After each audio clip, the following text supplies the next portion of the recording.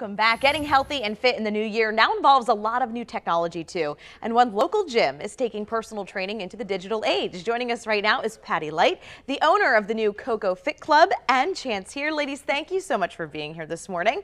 Uh, Patty, we'll start with you. It's such an exciting day, the grand opening for Koko. Tell us a little bit about it very excited. We opened in December and we figured best grand open tonight and we're inviting everybody between 3 and 7. We're thrilled and we're at Abacoa Plaza with my son Jared and talk, talking about Koko. We're a digital gym, we're individualized coaching and we're happy to be here.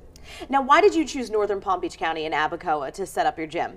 I joined Koko Fit in Sarasota, loved it, became stronger, fit, more fit than I'd ever been in my whole life, and knew it was time to bring it to my neighborhood, to, to where I live. Because you're from South Florida, you're happy to be back here. Absolutely, have and, been here in the past. And you're bringing this digital gym. Now, Chance, maybe you can help us uh, understand it a little bit better. When you say a digital gym, what does that mean? What does that entail? And how is Koko different from other gyms? So we have a patented smart training system that we use. So there's a technological piece in there that brings all the customization together.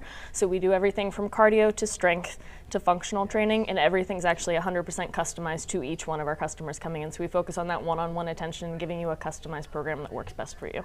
Now the equipment that's involved, does it involve any high-tech equipment? Uh, does it involve smartphone use, an app, or anything like that? We don't have any smartphone or app usage. Everything you do is going to be in the gym. We do have a customized website where everything you do is tracked, and you can see all of your workouts and upcoming workouts. So you do have that digital aspect there. Very cool. And Patty, you said you started using Koko back in Sarasota. Nice. Um, what was it like for you to, to go through this experience, to get healthier? Why did you want to become healthier?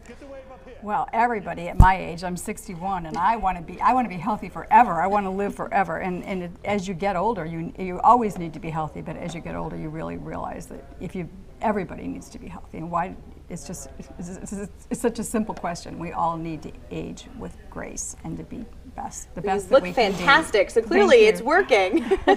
and Chance, is there any um, suggestion for folks who are looking to get healthy in the new year, how to kickstart it and maintain it for the rest of the year? Because a lot of people have the resolutions. We start off at the gym and then we may not make it back by you know the summer.